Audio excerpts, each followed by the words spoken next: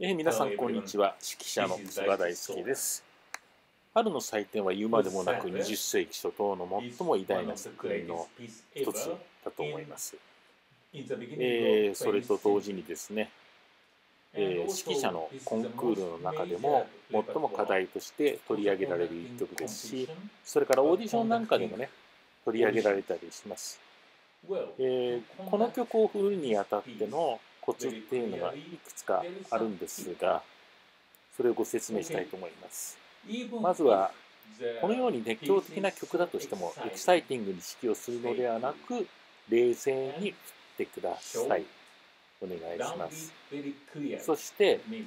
ダウンビートがはっきりわかるように振りましょう。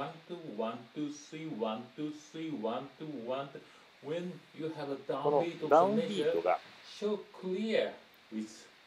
ちゃんと棒の先で示せているっていうのが大切なんです。あなたがその拍の動きを垂直方向の動きで表せるようであれば例えば前から見ている奏者だけではなく横から見ている奏者にも明確に伝わります。こんな感じ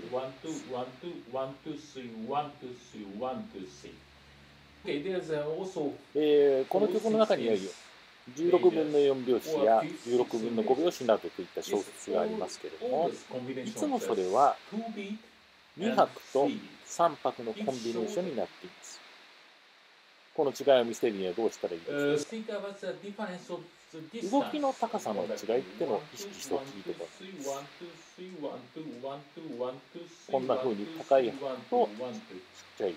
拍ですね。もし3拍の分3泊の部分でしっくりこないのであればちょっと丸を描くように式をしてみてくださいこんな感じで3 1 2 1 2 1 2 3 1 2 3ですね。